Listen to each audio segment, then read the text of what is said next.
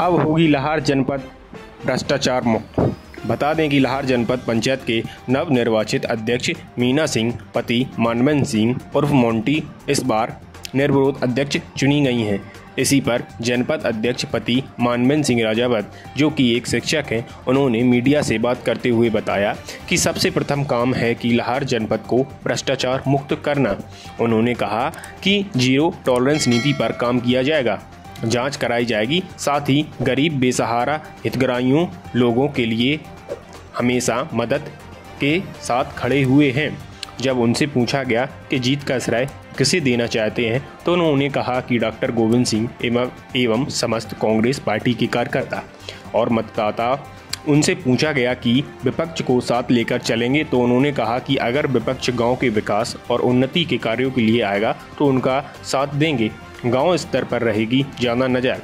गाँव में सरपंच सचिव रोज़गार सहायक ने जो भ्रष्टाचार किया है उसके लिए अगर उनके पास कोई आता है तो अलग अलग विभाग से कार्रवाई कराएँगे। साथ ही जनता से अपील की कि कोई भी भ्रष्टाचार में किसी का साथ ना दे। साथ ही भ्रष्टाचार को ख़त्म करने के लिए मेरा साथ दें। तो सबसे पहले आपको बहुत बहुत बधाई जनपद अध्यक्ष के आप पति आपका क्या नाम है?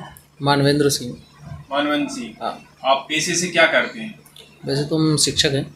शिक्षक हैं। तो आप राजनीति में आपने जो कदम रखा है इससे पूर्व आपके परिवार से किसी ने राजनीति में कदम रखा है? राजनीति में हमने कदम नहीं रखा। हमारी पत्नी ने चुनाव लड़ा है। इससे पूर्व किसी ने कोई चुनाव नहीं लड़ा। माता जी ने लड़ा था पूर्व में एक चुनाव। तो आप अभी जनपद अध्यक्ष निर्विरोध चुने गए हैं। जी। इसकी आप क्या सोच रहे थे कि आप पहले से आपको पता था कि जनपद अध्यक्ष निर्विरोध चुने जाएँगे आप? बिल्कुल पता था।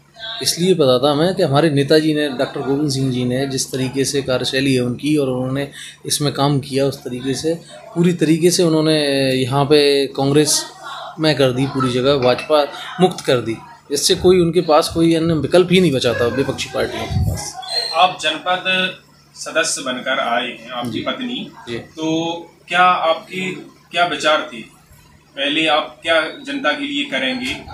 सबसे पहली हमारी प्राथमिकता ये रहेगी कि जनपद भ्रष्टाचार मुक्त हो और भ्रष्टाचार के बारे में ज़ीरो टॉलरेंस नीति का पालन हो सके। अच्छा तो अभी जो प्रेजेंट में देखा जा रहा है गाँव में हज़ारों काम आती है। मनरेगा हो आवास हो या फिर सीसी हो या निर्माण हो भवन निर्माण हो स्कूल की बिल्डिंग निर्माण हो उनमें घटिया क्वालिटी का माल यूज़ होता है और मतलब भ्रष्टाचार चरम सीमा पर पंचायतों में हो रहा है। हम्म। तो क्या आप इससे मुक्त कर सकेंगे पंचायत बिल्कुल कर सकेंगे। इसके लिए हम अन्य एजेंसी निर्माण एजेंसियों से क्रॉस मूल्यांकन कराएँगे जिससे संबंधित सब इंजीनियर एसडीओ लोग पहले से ही सचेत रहें और वो ये जान के करें कि कोई भी भ्रष्टाचार किया जाता है तो क्रॉस मूल्यांकन अन्य निर्माण एजेंसियों जैसे प्रधानमंत्री ग्राम सड़क योजना इत्यादि से कराया जाएगा पीआईयू वगैरह से। तो उसमें अगर अंतर पाया जाता है तो कार्रवाई होगी विधि सम्मत अच्छा पूर्व में जो जो भ्रष्टाचार हुए हैं और आपके पास अगर कोई लेकर आए शिकायत सेक्रेटरी या रोज़गार सहायक या पटवारी या किसी भी अन्य अधिकारी या सरपंच किसी ने भी किए हैं तो आप क्या उन पर दृष्टि डालेंगे? उनकी मदद करेंगे?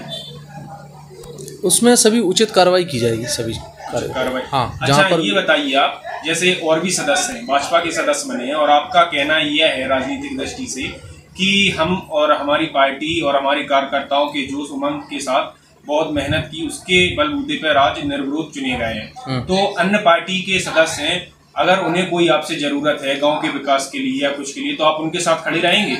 लाहौर के विकास के लिए अगर सकारात्मक रूप से वो जब भी सहयोग चाहेंगे लाहौर जनपद बॉडी उनका सहयोग करती रहेगी। बसरते विकास की बात हो केवल। अच्छा लास्ट में आप जनता से क्या अपील करना चाहते हैं और जनता से आप क्या कहना चाहते हैं?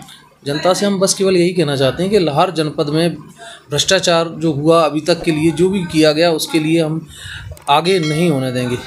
ये वो इस बात को निश्चित कर लें, कैसे भी करके आगे भ्रष्टाचार नहीं हो पाएगा कहीं पे भी और वो आश्वस्त रहें इस बारे में।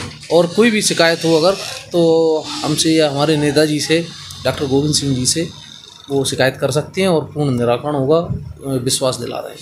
पूरी पार्टी की तरफ़ से। आपकी पत्नी का क्या नाम है जो अभी चुनाव जीती है? उनका नाम श्रीमती मीना सिंह।